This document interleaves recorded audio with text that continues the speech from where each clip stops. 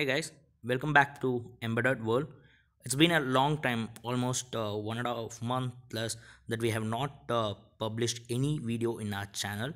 The reason is, is of course we haven't got many personal messages, mails, and uh, yes, even calls.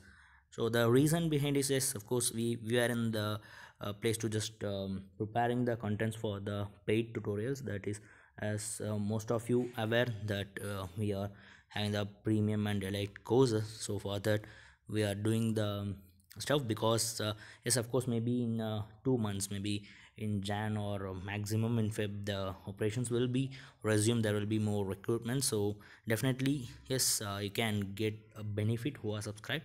All right and coming to this public video tutorial. Sorry this is the, just a schedule for the next uh, two and a half to three months. So that of course if you follow the schedule definitely it will uh, become a turn or a card in your career.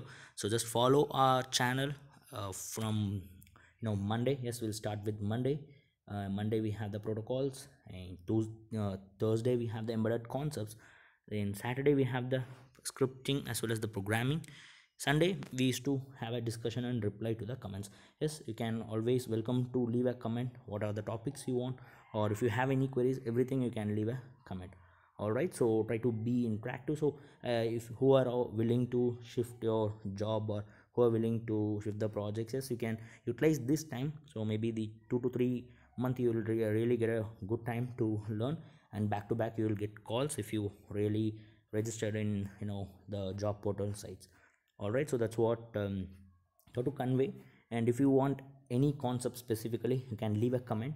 And uh, if you want to contact anything you can personally contact me in whatsapp so that i can you know reply as soon as possible. All right so we'll get back to you with the the list of contents and the protocols will start from monday. All right so see you soon and uh, happy learnings